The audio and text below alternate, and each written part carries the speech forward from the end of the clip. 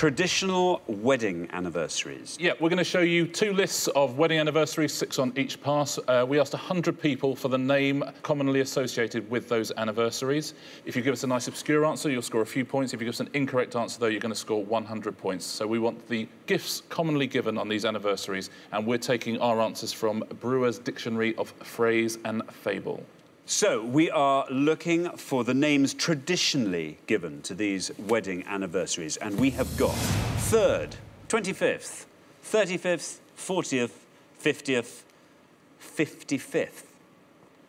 Let me read those again. 3rd, 25th, 35th, 40th, 50th, 55th. Now, as always on Pointless, you are looking for the answer that the fewest of our 100 people knew. So which one, Stacey, are you going to go for? Well, I'm not married, so I've never had any of those anniversaries, and I have not a clue, except a couple of obvious ones, which I'm going to have to go for because I can't risk it. Well, remember, going for an obvious one isn't a bad thing because you're you're removing that for other people. So it's true. So I'm going to go for 25th, which is silver. 25th silver, you're saying. Let's see if that's right. And if it is, let's see how many people knew that answer.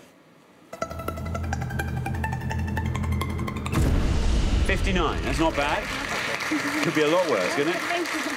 59, not a bad score. Richard? Uh, yeah, big score, but a correct answer. It's a tough round, this one, isn't it? Yeah, isn't 20, it? 25 years silver.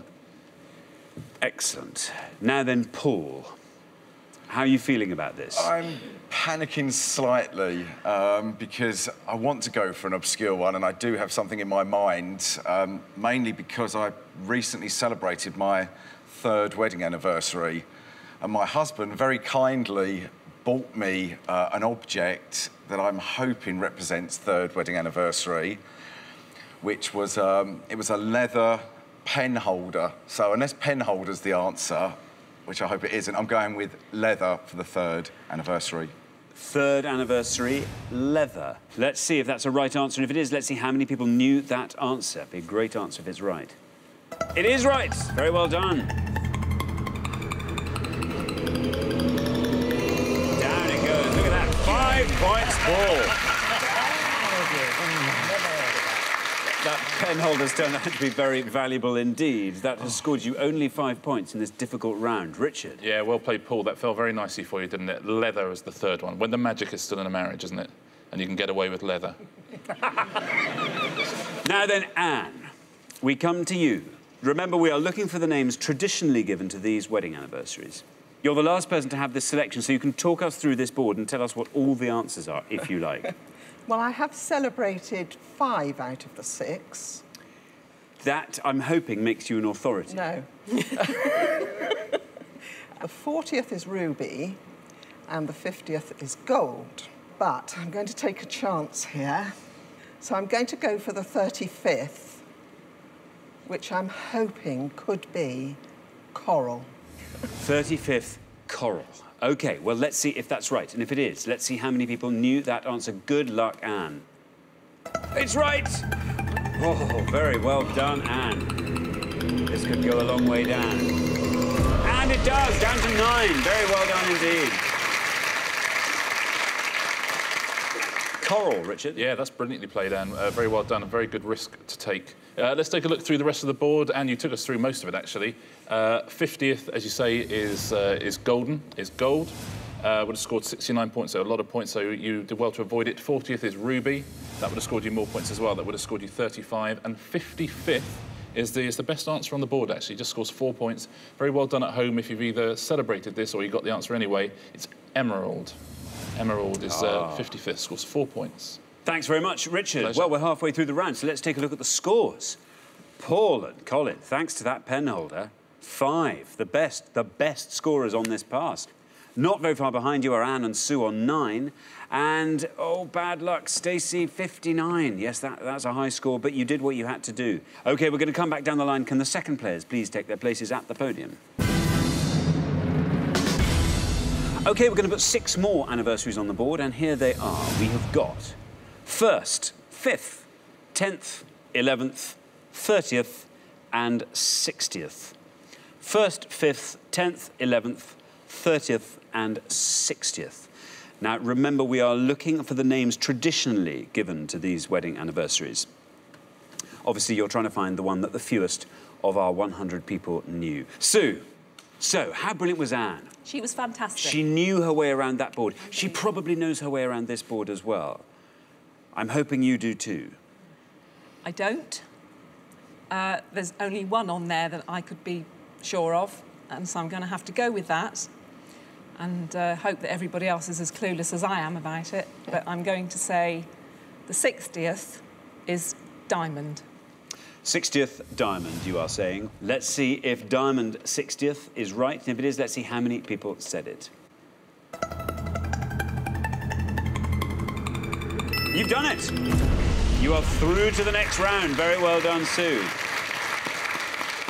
That scores you 38, takes your total up to 47. Richard. Yeah, well done, Sue. Well played. I think you probably deserve a diamond after 60 years, don't you?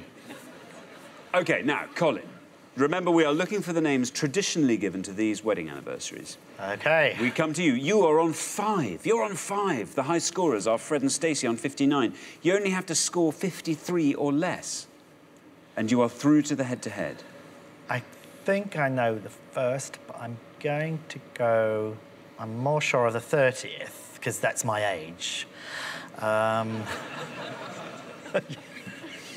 and um, that is Pearl. 30th is Pearl. Let's see if Pearl's right, and if it is, let's see how many people said Pearl.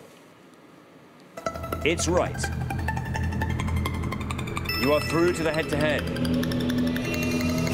14, that's a great score. Look at that, 14. Takes your total up to 19. Richard. Yeah, very well played, Colin. Uh, absolutely, it's Pearl. Uh, it's a very tough round. I think everyone's doing incredibly well. Very tough indeed. Very tough. And I'm afraid so tough, Fred and Stacey, that the writing is now on the wall. I'm sorry to say you will be leaving us at the end of this round. However, not before, Fred. You can dazzle us with the best answer on the board. I knew the two that had already gone. Uh, I would say that first is paper. And I'm guessing at the rest, but um, in the off chance that nobody knows what the 11th is. I'm going to have a wild stab at that because it might put 250 in the pot for these other two couples. So, um, torn between, I think Crystal's more 10th. I'll go Pewter for 11th. Pewter for 11th. Yeah. Pewter. Well, as a, it's, a, it's a selfless act, Fred, to try and swell the pot at this stage. Let's hope you do. Uh, Pewter for 11th. Is it right? How many people said it? No. Good try, bad luck. I'm afraid that's an incorrect answer. Not that it matters. You score 100 points, takes your total up to 159, but well tried. Richard. Yeah, as you say, a selfless act, so well tried. It's not pewter, it's steel, the 11th anniversary. First anniversary is paper, but would have scored you a very high score. That was, um, that was 63. The fifth is wood.